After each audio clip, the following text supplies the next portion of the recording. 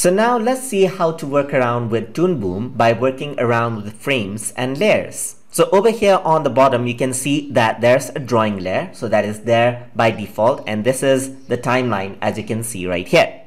So now if we are to actually go over here and then draw out things. So I'm going to grab my pencil right over here, click and drag this out just like this. And you can see that I have a shape.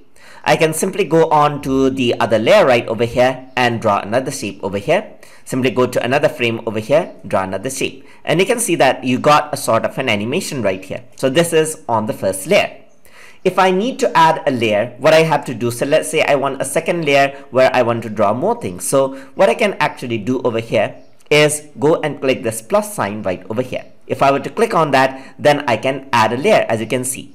So there are different type of layers I can add, but right now we're just going to stick to drawing because that is what we're going with right now. So I'm just going to click on drawing.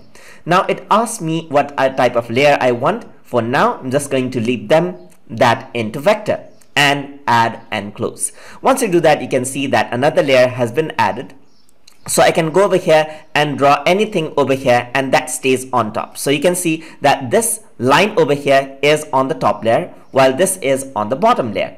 So if I want to move this around, so let's say if I want to add in this frame, move this around, it'll be much more easier. So if I were to have this, you can see that there's the top layer and there's the bottom layer and both of them form a group.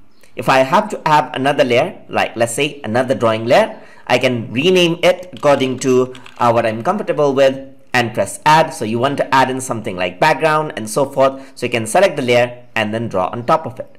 You want to select on the bottom one. What you have to do is select the bottom layer and then draw over here. You want to select this layer, draw on it and you draw on that layer. So each of them are grouped in a layer as you can see. As you make complex animation, this might prove to be a very, very useful. So let's say you want to delete a layer and just keep the bottom layer right here. I'm going to shift select both of these so both of them are selected as you can see.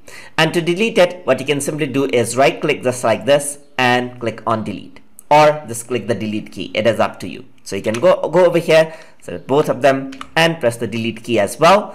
Uh, so that really deletes the layers, um, uh, the uh, that really deletes the uh, drawings of the layers but not the layers itself. To delete the layers itself, just click the delete button and there you go. You got just got the first layer over here. So if you were to actually select the drawing on the library panel right over here, so let me just reset uh, the default workspace right here so you can see it more clearly. So I'm re resetting the workspace right over here. And over here, if I were to go to library, you'll be able to see the drawing substitution. So you can actually see, you can see the frames here as well. And we're going to talk about that more in future lessons. So over here, you can see that this is how you control frames and layers inside of Toon Boom to help you get started with your drawing. And we're also going to come up more about how to work with timelines, onion skinning, and so forth in future lessons. So if you guys learned something as always, and as always, please like, comment, share, and subscribe.